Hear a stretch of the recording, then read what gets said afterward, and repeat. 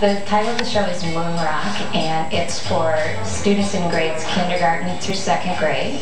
And we started out with the idea uh, that we wanted something to meet the educational goals that the classroom teacher has for children that age. We needed to be able to uh, have a show that would did we use the room to its full potential. Uh, we really wanted to show off the, the night sky and uh, what the projector can do.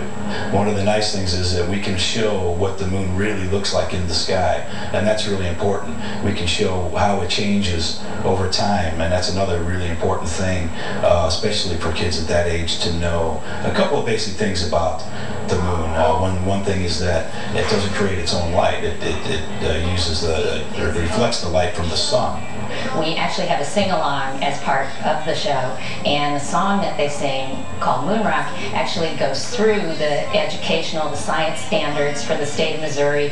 Um, the things that John's telling you about are actually in the song, so the kids walk out of there with that in their head. We found this just most amazing, talented young lady, Emily McKenzie. Yep, her name just happened to be Emily. Which was the name of the character, yeah.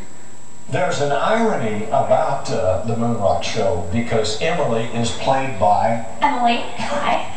Uh, how did you get involved with us with this, and why? Well, one day I was going along to the plant to the planetarium with my mom and my dad and my brothers, and we saw a flyer. My dad's like, "Hey, check this out, Emily," and I thought it was very interesting. And usually I didn't take these audition offers, and I eventually convinced my dad to do it. I went to the audition and I got the part. It was very exciting for me. But the irony, Emily being Emily.